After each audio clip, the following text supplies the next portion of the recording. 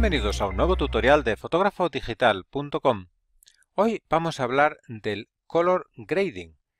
¿Y qué es el color grading? Bueno, pues es la manipulación creativa del color de una imagen para que transmita una determinada sensación, un aire, que no es el que captó directamente el sensor de la cámara. Hay muchas maneras de hacer color grading en Photoshop y hoy vamos a ver una forma sencilla de controlarlo mediante los mapas de degradado. Pero bueno, antes de todo eso vamos a entender de qué estamos hablando. Fijaros en esta fotografía que tengo en pantalla. Es un retrato tal cual ha salido de cámara, hecho en estudio, bueno, eh, con una cierta tonalidad simplemente conseguida con la iluminación, el fondo, los colores de la ropa. Si lo vemos un poquito más en detalle, vemos que la tonalidad de la imagen, por ejemplo, la piel, pues tiene lógicamente la misma tonalidad aquí en las altas luces que por aquí en las sombras. En las sombras está en sombras, pero conserva el mismo tono. Sin embargo, si yo le aplico a esto un mapa de degradados, ¿veis lo que está pasando? Fijaros aquí en la, en la sombra. De repente esa sombra, en lugar de tener la tonalidad anaranjada del resto de la piel, tiene una tonalidad azul. El pelo pierde un poco el color castaño y se hace también más frío, tiene un color más azulado. Y sin embargo, al mismo tiempo, fijaros ahora en la otra mejilla, el tono de la piel se hace más anaranjado. ¿Por qué? Pues aquí está la respuesta, porque hemos aplicado este mapa de degradado que tenemos aquí, que hace que las altas luces estén en los colores anaranjados y las sombras vayan del azul hacia finalmente el negro. Eso es lo que vamos a ver.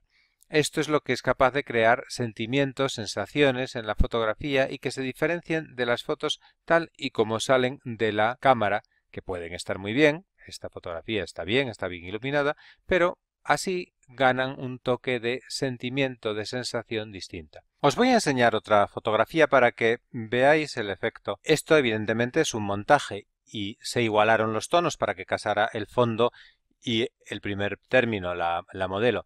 Pero fijaros cómo cambia cuando le añadimos el color grading. Se hace más atractivo. ¿Por qué? Porque estamos jugando con los colores complementarios, el azul, el naranja, que son atractivos para el ojo humano. Pues visto esto, vamos a aplicar ya sin más dilación el efecto a esta fotografía que es así y la vamos a dejar de esta otra manera. ¿Cómo hacemos este proceso? Eso es lo que vamos a ver desde el principio. Primero de todo, vamos a venirnos aquí, este icono, para crear una capa de ajuste o relleno. No lo estáis viendo por el recorte del vídeo, pero la penúltima opción hacia abajo se llama mapa de degradado. La cogemos, de momento me sale un degradado en blanco y negro. ¿Por qué? Porque tengo aquí los colores blanco y negro. Pero, sin embargo, si me voy aquí, pincho encima de este degradado, me salen el editor de degradados. Y lo que voy a hacer aquí es ir cogiendo un degradado que me guste y que quede bien con esta fotografía. Vamos a ir escogiéndolo, pero permitidme un momento, voy a cancelar y antes de nada voy a hacerle dos cosas a esta capa de ajuste de mapa de degradado. Lo primero de todo voy a bajar la opacidad como al 60%. ¿Por qué? Porque normalmente eh, quedan mejor los efectos aplicados a ese, a ese porcentaje y lo segundo, importantísimo, el modo de fusión lo voy a cambiar a luz suave, que es como quedan bien los mapas de degradado. Y ahora sí, ahora que ya tengo hecho ese ajuste, voy a ir eligiendo el color y así lo voy a ver en tiempo real como queda uno y otro. ¿Veis? Conforme me voy moviendo y, pinchando un degradado, otro degradado, pues veo cómo cambia el efecto de la fotografía. Tendré que decidirme por alguno que me guste. Por ejemplo, este me parece que queda bastante bien, pero por supuesto todo esto es una cuestión de, gustos personales. Yo he escogido este, le voy a dar a OK y ya lo tengo.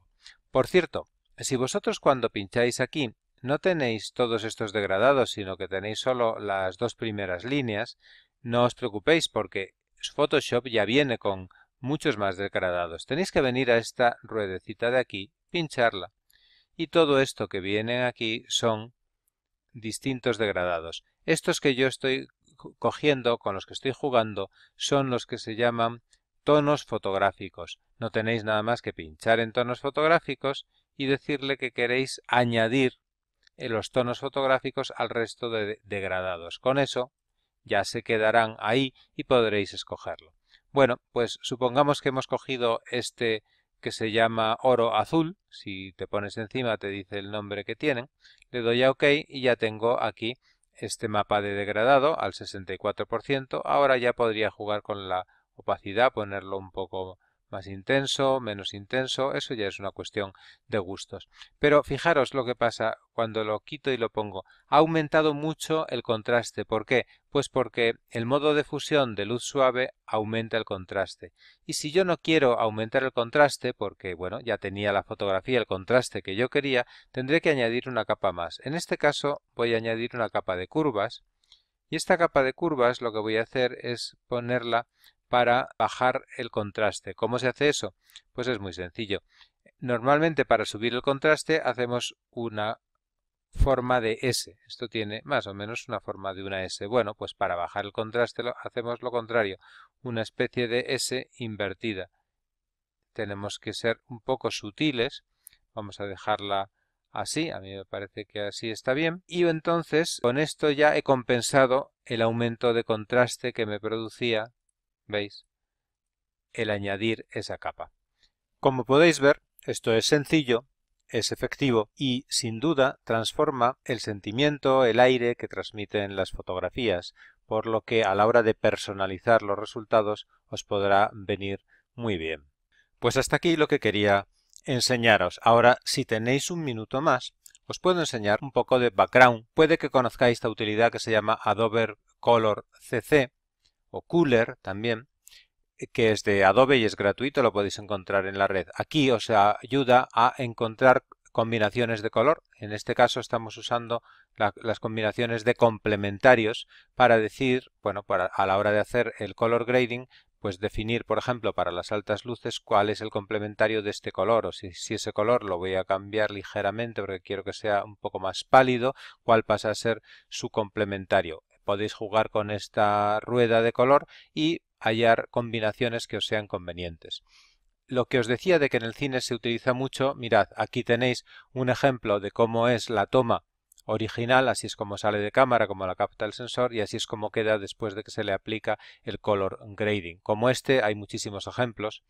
Eh, este otro también tiene, igual que este, el uso de, en inglés se llama orange until, que bueno, pues viene a ser el azul verdoso y el naranja como colores complementarios. Aquí se está utilizando también y en esta otra eh, la combinación es un poco distinta, eh, mucho más luminosa, pero veis el antes y el después como es la toma original, cómo queda después de tratado el color, o en este otro caso de una famosa película, pues eh, bueno, eh, este es la toma original y esta es como queda después del tratamiento de color que el colorista de cine decide darle.